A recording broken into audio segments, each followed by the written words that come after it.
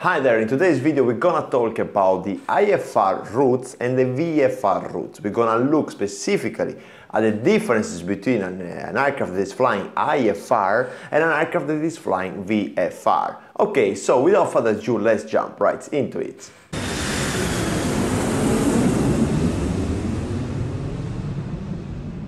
Hi there, I'm Gabriele from pilotclimb.com. I'm a training captain on the Boeing 737 and I help you to become a better pilot. I upload lots of contents every week, so if you don't want to miss the next one, consider subscribing to the channel.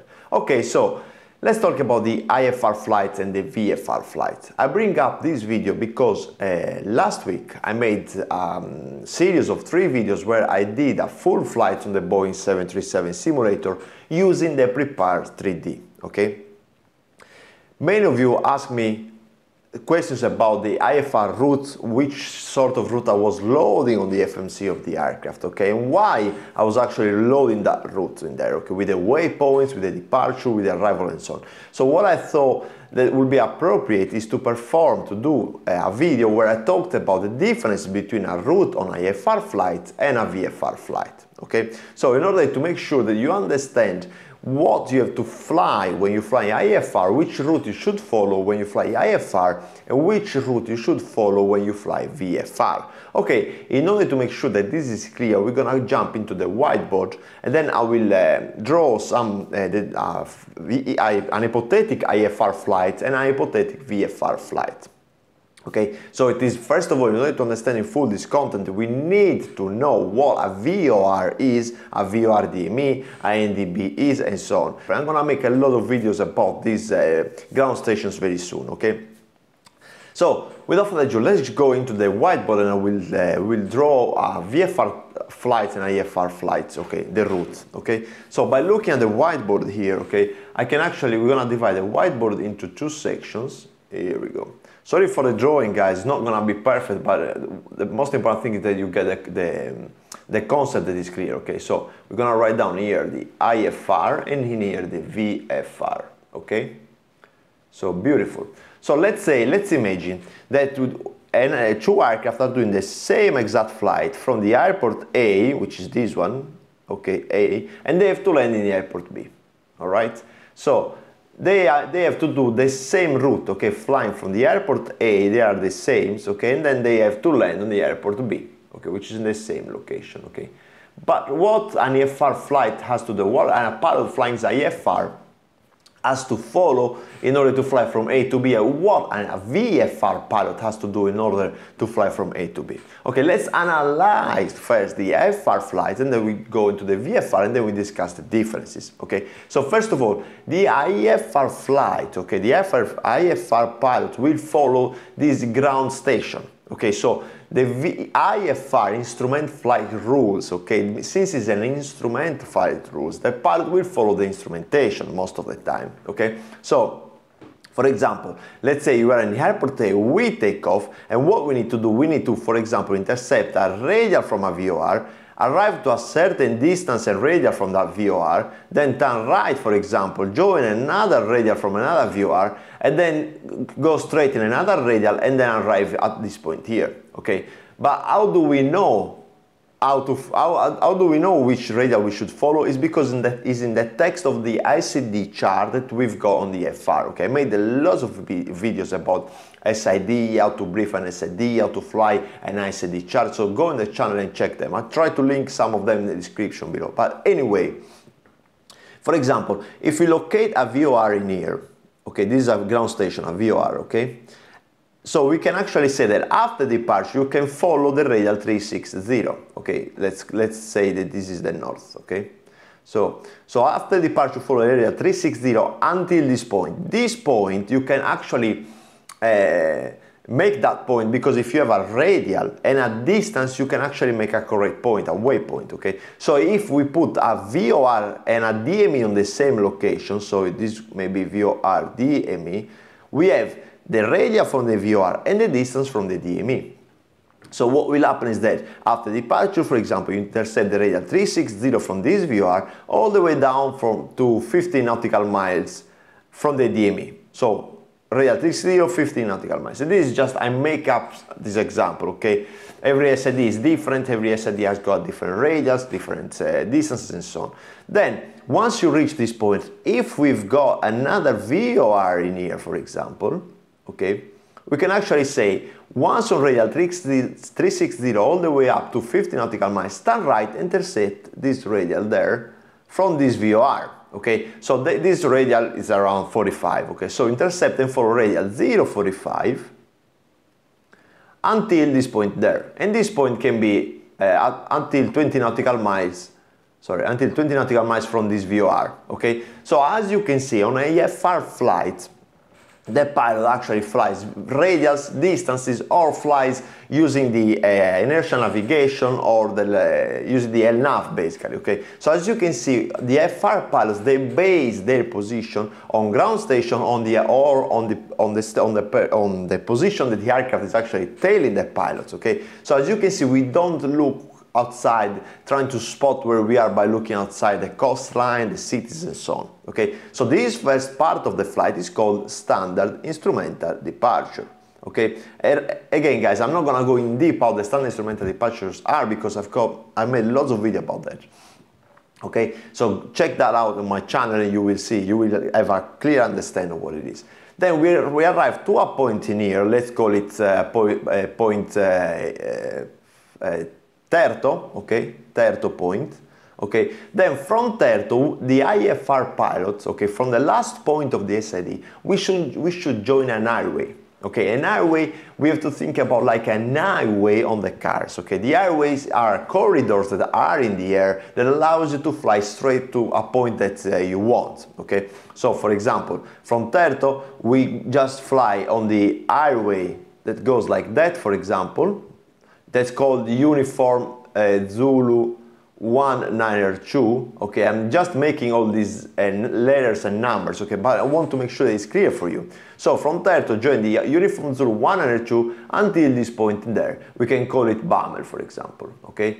And this point from that point in there okay your target is after you fly the airway, you get close to your destination. What you want to do, you actually want to join a STAR, a standard arrival. The standard arrival is a standard route that allows you to leave the airway and start to approach your uh, destination airport. Okay, so from BAML, we join the arrival that actually takes us from BAML to a point there. Okay, then maybe you you continue straight like that, then you have done right, for example, for uh, traffic separation purposes, okay? And now is it structured? It's the same. From BAML, if you have a VOR in here, for example, okay? We know that after BAML, once we intercept this radial inbound, we, we actually have to leave this upper 0102 highway to go into the arrival, the standard arrival. So this part from here to there is actually the start. And normally 90% of the time is the structure of the stars are the same of the SID but opposite because the SID make us take off and get uh, to a certain altitude, the stars are made for us to start the descent, okay, and approach our destination airport, okay. So as you can see, we've got uh, the SID for departure, then the cruise phase is the uh, airway, okay, airway, and then the arrival phase is the star, standard arrival. Okay, and then again, guys, I'm not gonna go in deep into the star because I made a video about that. Okay, and then the airways as well. We talked about about. Okay, there are big corridor in here. Then once you get very very close to your destination, you need another procedure and the procedure that you need is you need a procedure that allows you to land and this procedure is called approach. So from a specific point that we can call it whatever you want okay you can just make up a, a, a name. Let's call it uh, david point okay? From david point in there okay here we go. So david okay we can actually join this approach procedure. And the approach procedure maybe, maybe make you to turn left again and intercept the ILS and land. Okay, so this part from the initial approach fix E A A I IAF, okay, initial approach fix, all the way down to the landing is called approach procedure okay? And the approach procedure guys again i made a lot of video where i talked about this procedure so go there and, uh, and, check them out okay? So as you can see we've got here we go this is the approach procedure. The approach procedure will, will take you from the initial approach fix all the way down to the landing okay? So normally an IFR flight then has got, after takeoff, has got first of all to follow ISID, okay, then the SID has to end up at the entrance point of an airway, okay, so the second thing is the airway, okay, then the third thing, once you get close to your uh, destination airport, you should follow the star, okay, the star, the standard arrival. And then the fourth and last thing, in order to, to land, okay, you should fly the approach procedure. Approach. Here we go. So as you can see, this is the sequence that a, pilot flying IFR has to follow, okay. Take off, you fly the SID, you join the airway, you get to the point where you join the standard arrival, and then you get to a point where you get to the initial approach fixer, you should uh, follow the uh, approach procedure, which could be ILS, which could be a VOR, and I made lots of video about this, okay? So again, if there is any questions about that, just leave a comment below. But anyway, before asking questions, uh, if you check on my channel, I've got lots of content about these things, okay? Fantastic. This is how the IFR flight, uh, IFR pilot does, okay? Another pilot that is not uh, read, doesn't have the IFR, IFR ratings and has to fly from A to B using VFR rules, okay, what he will do after takeoff, okay, he has to join these gates, okay.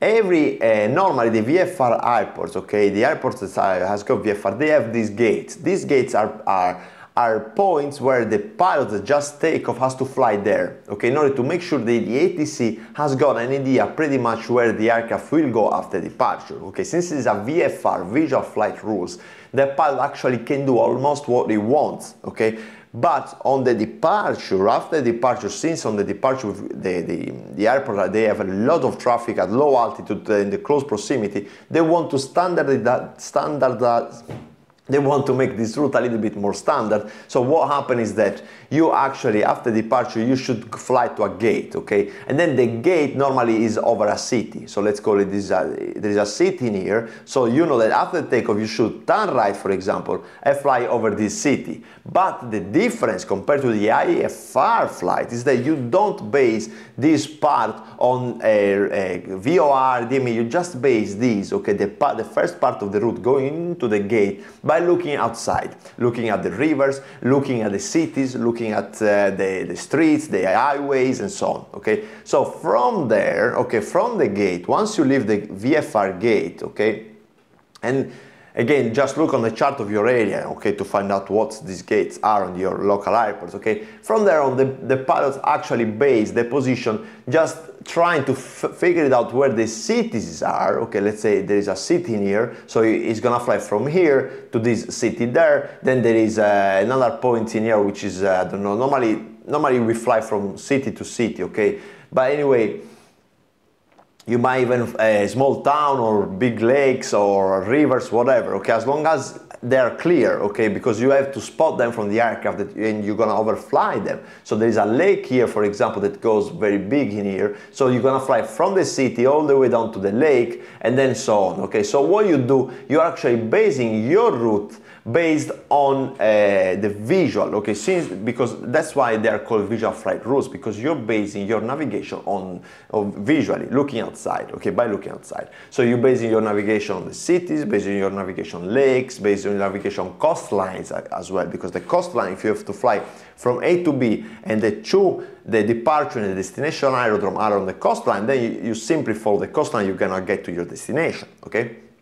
So this is the main thing this is the the main difference that on the FR part, okay, you follow, you fly following the ground station and the onboard navigation system, and you don't look outside, you don't base your positions on cities, towns, uh, roads, and so on. However, on the VFR flight, you only uh, you should base your uh, navigation looking outside, spotting cities, uh, sp spotting uh, points that you can really see. Okay, so these are mainly the, the, the, the, biggest differences, okay? And then once you get close to your destination, you can either approach and land straight or you join the VFR uh, traffic pattern, okay? So the, the downwind, okay, for example, the base start and then the land, okay? And then you land, okay? So these are the main differences because in the previous video that I made last week where I actually flown, some of you asked me, but why are you uploading these uh, airways, these SIDs, these stars and so on. And that's why, because we were flying IFR. okay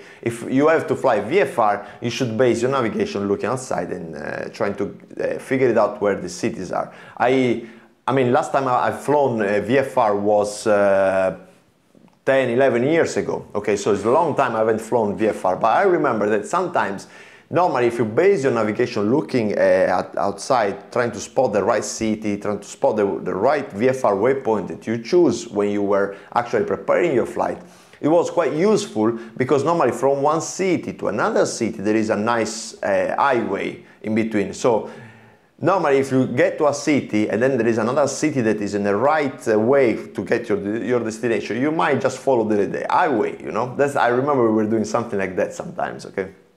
I've been flying VFR all over Europe in my, in my uh, past career, okay, because I was flying for the skydivers and sometimes I was flying dogs as well around Europe with an aircraft, okay. So, by the way, guys, I hope you now understand what is this, uh, what are the differences between IFR and the VFR flights, okay. What are the differences between the IFR route and the VFR route? If you have any questions, just leave a comment below and then I will help you out. Also go to pilotclimb.com where you can subscribe for free pilot training content. Next week I'm gonna make another flight using the Boeing 737 and we're gonna look at different scenarios and we're gonna try to talk about different things such as weather, such as uh, uh, low visibility and so on. Okay, I wish you a great day, I wish you a great weekend and I'll see you on the next one.